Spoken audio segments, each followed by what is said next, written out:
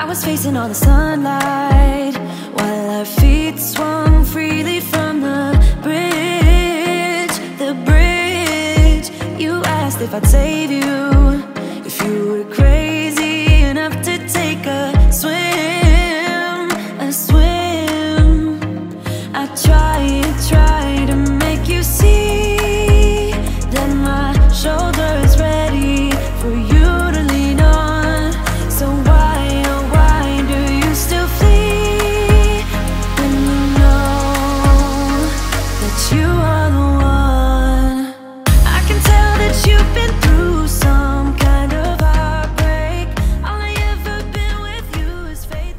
おはようございます。白熊チャンネル白熊です。今日は台車です。タントですね。こんな感じでタントに乗ってます。今日弘前店の方に来てるんでね。いやめちゃくちゃ広いです。これ。後ろ遠い。いやいやいやコペンここに壁ありますからね。いやすげえよ。この広さ。GoPro もこーい。GoPro 広いよ。すごいよね。これ。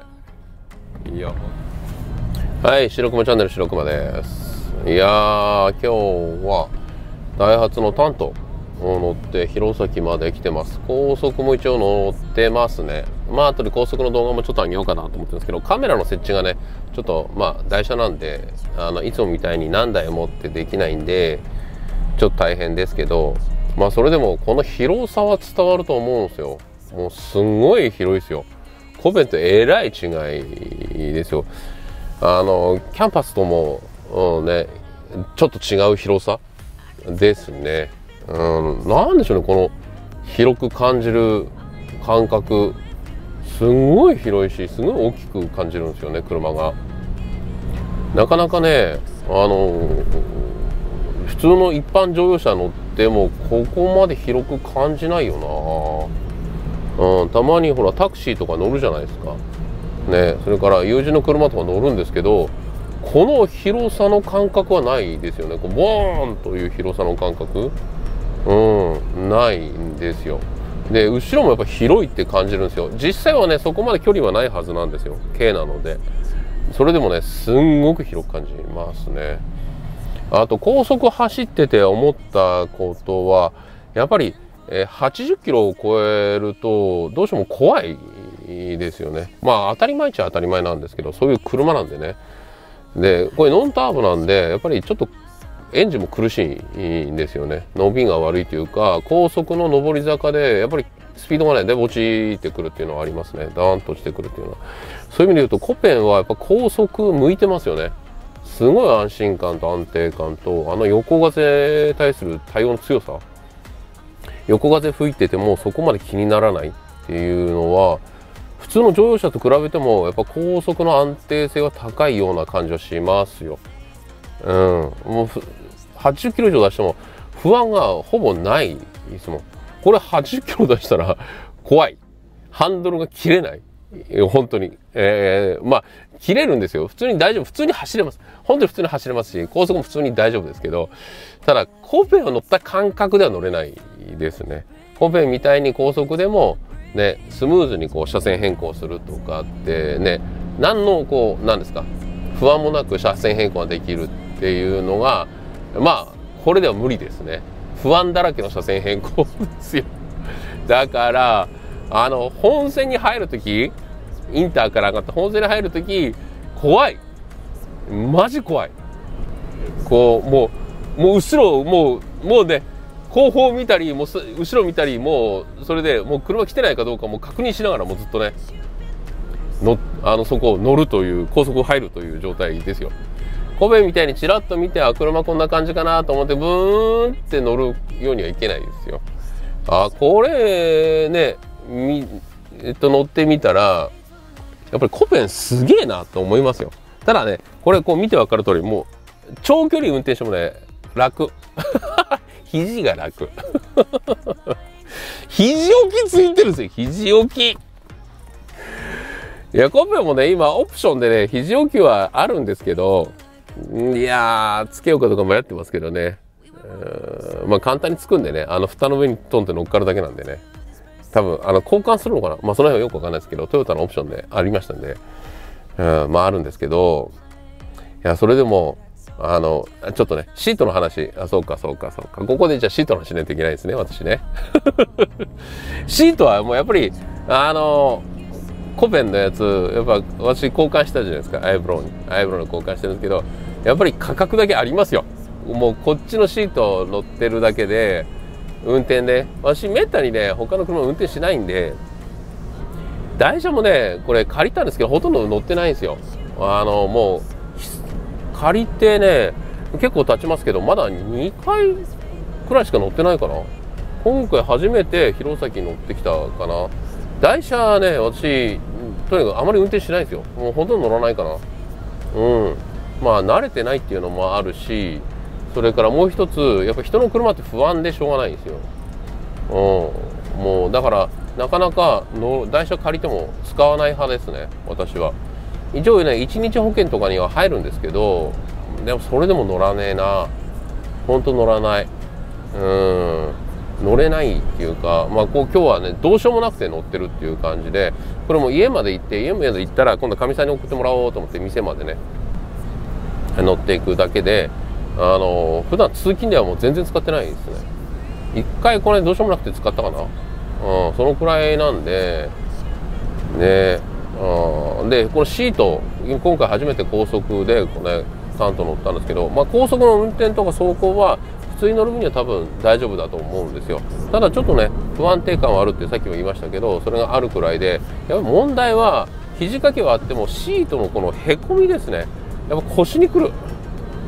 うん街乗りだったら全然 OK かな。街乗りはねこのくらいの柔らかさとかねあのそれからあこう段差とかはすごくいい感じ。足回りといい車のセッティングといいそれからこのシートの状態といい。やっぱりこうボコボコしたところガツンガツンしたところとか通るじゃないですかどうしたって。ね高速と違うんで。やっぱそうなるともう全然あのこのなんですか乗り心地っていうか体にかかる負担が低いっていうのは分かりますね。逆にね、えー、コペンだとやっぱりハイグリップタイヤも履いてるせいもあって普通の街乗りにはあまり向いてないんですよ私のコペン。私のコペンですね。向いてないんで結構きついしハンドルもね LSD 入ってる関係上曲げにくいしシートは硬いわけですし足回りもガツガツしてるわけなんでねそのためにどうしてもあの街乗りしてるとやっぱり体へかかる負担はやっぱ大きいかなって思いますね。高速乗るともう全然違うんですよ。高速乗った時にはもう全然コペの方が楽ですね。シートに体を全部預けれるっていうのが一番大きいですよ。もう全部を支えてくれるんでそこがねあのもう体への負担が違う。こう支えられてないっていうのは一番こう体がねこのシート支えられてるの、まあ、普通のシートみんなそうなんですけど。バケットじゃないからね。バケットシートじゃないから普通にそうなんだけど。ねそのためにあの街乗りの運転はしやすいですよ。こうね周囲見たりっていうのはすごくやりやすいし。それからやっぱり視認性はめちゃくちゃ高いですね。やっぱりこうミラーもそうですし、うん、もう全然こう周囲への視認性はねコペンと比べたらめちゃ楽。うんもうそこはあの安全運転のための、えー、気配りはこっちの方が絶対しやすいっていうのはあります。ただ高速はねやっぱりどうしてもコペンだな。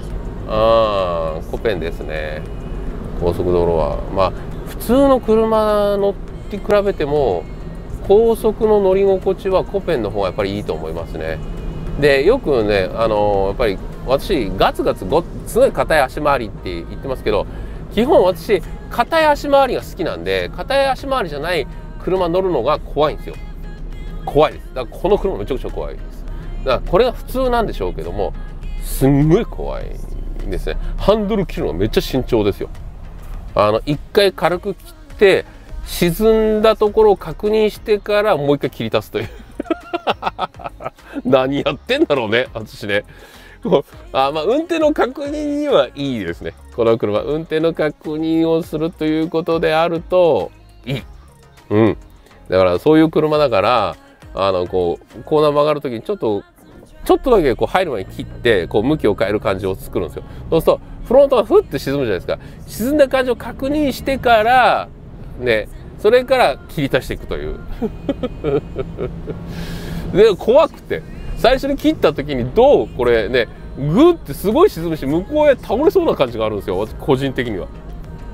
えって転ぶのっていや普通に曲がってるだけなんですけど転ぶことは絶対ないですよ。にコペンがそんな、ね、挙動しないんで全然しないんでねハイグリップタイヤでハンドル切ったとしてもちゃんと踏ん張ってくれるしぐっと踏ん張ってくれるしそこまで姿勢をねこう変えることはないんでこれねいやまあスタッドレスっていうこともありますけどやっぱりちょっとハンドル切ったらグッて、こう沈む感じ？怖い怖い怖い怖い怖い怖いめちゃくちゃ怖いです。何言ってんだろうね私もね。普通の車だっつうにね。いやでもすごくいいっすよ。うんこれ。うんちゃんと普段使いだったらもう言うことないでしょうね。だってこの広さですよ。これねやっぱりここまで広いとねあの音響にお金かけたくなりますね。これね。音響にちょっとお金かけてうん。やっぱそんな車に仕上げたいな。もうもしタント乗るんだら。まあ乗ることはないかな。自分で買う車ではない。すごくやっていい車なんですけど私車にねそういう良さを求めてないからでしょうね。車としてはいいし分かるんですよ。車としていいっていうのはすごく分かるしそれからあの乗ってるあの街を乗るというか普通に使うっていうのは最高にいいのは分かるんですけどそれじゃないんだよな。なんか私はもうちょっとねこう車を操縦するというか車を操作するっていうのを楽しみたいっていうのがあるんでそういう意味で言うとやっぱコペンがいいかな。うん。コペンねやっぱりすごくいいところは乗ってていいところ。まあ今ね相当それにいじっちゃってるんでまああまりあれなんですけど言えないかな、と思うんですけど。あの普通の車普通のこんなね乗りやすいとか街乗りにすごくいい安全に乗れる安全まあコペが安全じゃないって意味じゃないですけどね。より安全にねこう乗れるっていうのが乗れるタントなんですよ。これ絶対に。コペンよりはあのそこあのそういう特殊な注意がいらないんですよ。コペン特殊な注意がいりますからね。乗るとか安全に乗るためには。ああのそれねあの購入された方には一回もう口を酸っぱくして言いたいことはいくつか たくさんあるんで。まあ乗ってる人はもう分かってるとは思うんですけどね。最初にね買った時にはもうこの辺絶対注意してこうしてああしてっていうのがいっぱいあるんですけど。あるんですよ。ね。それがない。乗ったら誰もが安全運転しやすいっていう。コペンはやっぱりちょっと特殊なね。コペンあるあるがいるあるんで、えー、そこはありますね。ハントに望むことはあまりないな。こう音質音音をもうちょっとね音楽がたこうすごくよく聴ける。車に俺だったら担当乗ってたら仕上げていくかな。っていう感じですね。ハント広さ。この空間。うん。絶対一般の乗用車に負けてないですよね。この広い感覚っていうのは。この広さを求めて車を乗るっていうのはもう最高かな。ちょっとその辺のね乗用車と比べてもね車内の広いっていう感じはね違うような気がするわ。別世界だね。うん。ということで今日はここまでです。ではでは。いやータンと侮れない。